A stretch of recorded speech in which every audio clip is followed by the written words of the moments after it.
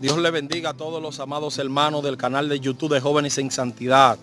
El día de hoy tenemos el privilegio de estar con el evangelista Emmanuel Bautista, quien ha sido un joven que desde temprana edad se ha dedicado a la predicación de la palabra de Dios, siendo usado grandemente por el Señor en muchas actividades cristianas.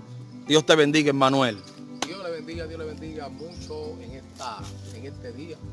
La paz del Señor sea con cada uno de ustedes. Gloria al Señor. Es una gran bendición eh, estar aquí en este ambiente profético, un ambiente de Dios.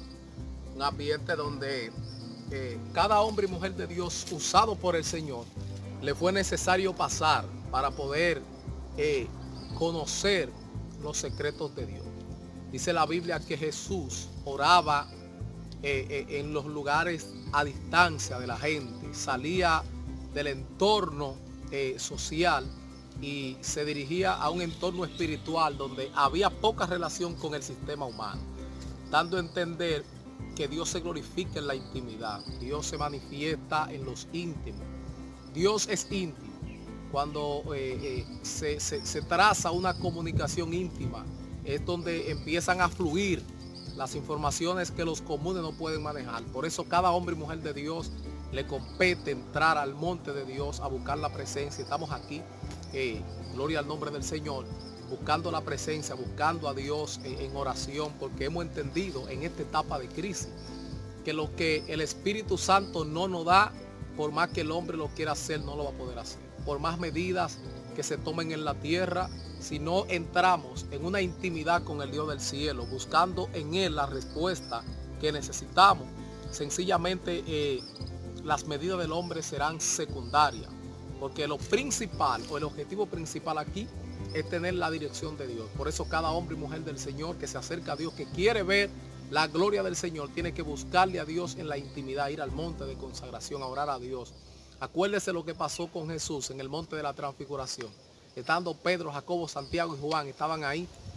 Y dice la Biblia que Jesús se transfiguró delante de ellos mostrándole una manifestación que eh, fuera del monte no tenían. Es decir, en el monte de Dios hay un misterio que se activa en cada profeta, en cada persona que se acerca al Señor, en cada hombre que se acerca a Dios, se manifiesta un secreto espiritual que no se ve cuando nosotros estamos en lo llano. Por eso Cristo siempre, eh, gloria al nombre del Señor, iba hacia el monte. Dice que cuando se transfiguró, la gloria que se manifestó ahí fue tan tremenda que el mismo Pedro le dijo, Señor, bueno es para nosotros que estemos aquí.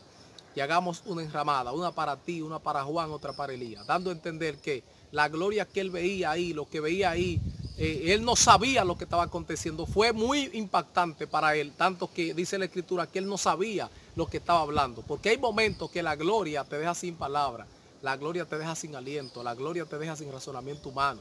Porque cuando la gloria te toque y se apodera de ti, tu humanidad muere y tú entras a vivir la vida en el Espíritu. Por eso hacemos un llamado a los hombres y mujeres de Dios en medio de esta crisis que el mundo está atravesando, que se acerquen al Señor, que se acerquen a Dios. Es necesario que usted se olvide de lo rutinario, se olvide de las rutinas y usted entre en una dimensión con el Espíritu Santo. Le hacemos un llamado a los profetas, a los evangelistas, a los pastores que están en su casa, que se han quedado en su casa y han dejado el monte. Busque a Dios.